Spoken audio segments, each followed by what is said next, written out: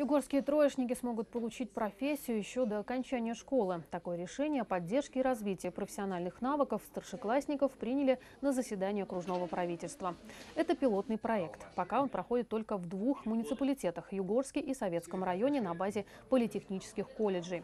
Отмечу, что с инициативой такого проекта выступили нефтяники. Как рассказали в окружном департаменте труда и занятости, если такая практика будет успешной, то ее масштабируют и на другие муниципалитеты Югры. Все имеющиеся в муниципалитетах э, структуры, э, которые оказывают содействие молодым людям в профориентации, получении профессии, должны выходить на э, конкретные реальные навыки и умения детей и с получением соответствующих документов, подтверждающих их профессиональную подготовку. Как правило, таким учащимся в дальнейшем сложно поступить в высшие профессиональные обуч... Э, заведения, и поэтому э, мы в качестве пилотного проекта на базе Югорского и Советского политехнических колледжей планируем такое обучение организовать, чтобы эти ребята могли уже выйти из школы с э, документом о